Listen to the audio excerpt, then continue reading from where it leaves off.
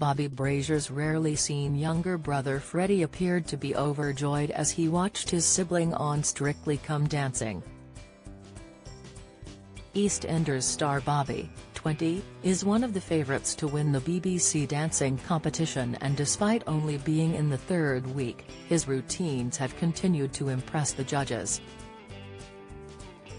As part of Movies Week, Bobby and professional dancer Dianne Buswell, 34, stepped out with a samba as they showcased their moves dressed as Romeo and Juliet.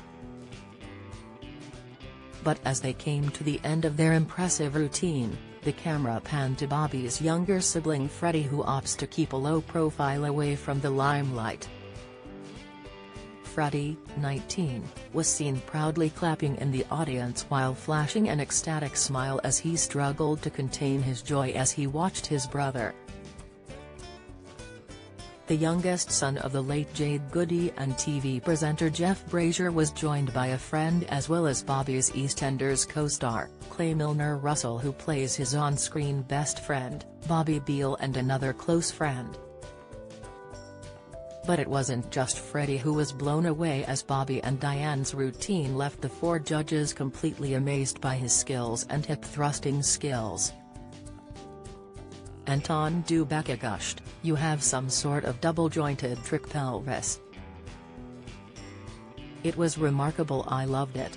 While Craig Revel Horwood praised Bobby for making a dance that is quite unnatural for men to look very natural. Motsi Mabuse went on to say, You were enjoying that so much it wasn't even about pleasing us. Head judge Shirley Ballas praised Brazier for bringing some rhythm in that pelvis.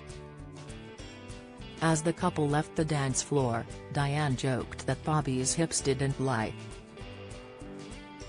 Following their impressive routine, each judge went on to score the couple an 8 meaning they racked up a whopping 32 out of 40 before sailing through to the fourth live show of the series.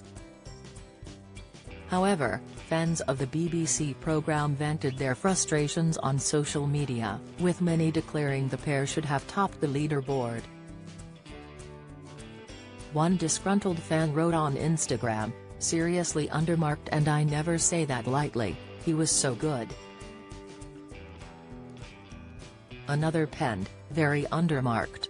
Marking and comments don't match up, they didn't give him one negative comment or anything to work on. It was, the most, amazing dance of the night for me.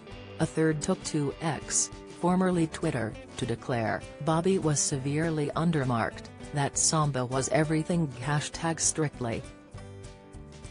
And a fourth wrote, Bobby and Dianne were so ridiculously undermarked for that samba like hello did we watch the same thing?